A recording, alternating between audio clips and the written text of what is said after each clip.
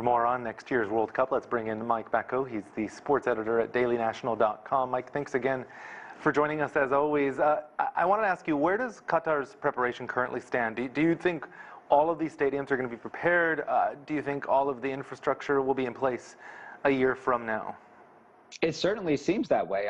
Honestly, from our, what our reporting is telling us and what we're seeing on the ground is that it's really more about the infrastructure than the stadiums. I don't think that they could host the games right now. There's some things that still need to be ironed out. But in terms of the construction of the stadiums, keep in mind seven of the eight stadiums are completely new construction stadiums. You have to think about the infrastructure of uh, these massive air conditioning units to to keep everyone cool. The game's taking place in November instead of traditionally over the summertime. So there are still a lot of things to keep in mind that are going to make these this World Cup different than all the others. But in terms of the stadiums being close, yes, they're about 90 percent done and ready. It's all the other infrastructure, everything from building roads and rails to something as simple as, as having uh, light post put up on streets because there are going to be so many people flooding out from these stadiums in such a confined space over such a short period of time. Do you have any sense of how much Qatar has spent so far and, and, and will that investment pay off? Well, I don't know how much of a $220 billion investment, how much returns you could see on that. They're spending upwards of 60 times what any other nation has spent trying to host the, the a World Cup in previous years. They're building all of these stadiums from scratch. These are world-class stadiums, and they're hoping to continue housing uh, and hosting events moving forward. That's really where the return on investment that so many nations that host whether it be Olympics or World Cups come into play where they can't monetize these these venues afterwards. So that's really where it's going to come in. And from a PR perspective, just putting the nation on on a world stage in a very diplomatic and very cultural and sporting venue. Yeah, you said they, they can't really monetize that afterwards. A lot of times these hosts will then turn these stadiums into something else that's useful for their country. So given all this investment, what do you do with these we're seeing these stadiums now on our screens. What do you do with these facilities? Well, that's that's really anyone's guess. Really, the challenge that they're going to also face. Whereas, say, looking four years past Qatar to when the U.S. hosts the the World Cup, they're going to uh, have it in stadiums, soccer stadiums, football stadiums that are going to be reused for those events. Soccer, football, they're spread out across the entire country almost all of these stadiums are within a train ride or two away. So you're going to have eight world class stadiums, 50 plus thousand people within a few train rides or a short car ride away. I don't know how they're going to be able to fill those stadiums month after month, year after year.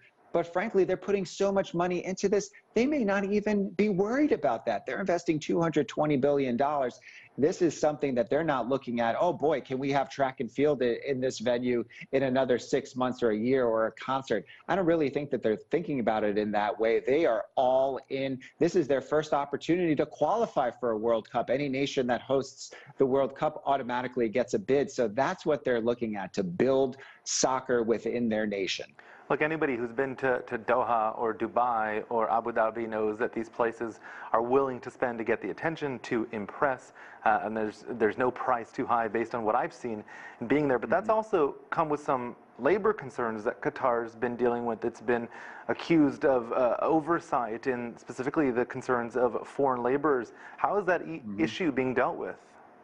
Well, it's being dealt with on a very top line PR type of level. We, we heard before about how um, there are new new minimum wage uh, you know uh, rules that have been put into place. Let's put that into context the minimum wage now for a monthly worker building these stadiums is still only 275 US dollars. And that went up from what it was before. They talked about uh, making work schedules and allowing them to leave. These are all basic rights that you think about you know that they've made strides they've made strides from basically you know interning and encamping these workers to now basically giving them a wage that could possibly be be lived on and rules for when they they might work so this is going to be a stigma that no matter what happens not the first line of what people are going to talk about when it comes to these World Cups, but it is going to be front and center because they did build these stadiums, seven of the eight of them, on the backs of these migrant workers. So that story is not going to go away. The majority of them from South Asia and Southeast Asia. Um, worth pointing out, I, I want to ask how important are these games for non G20 countries in getting an opportunity to really host such large sporting events?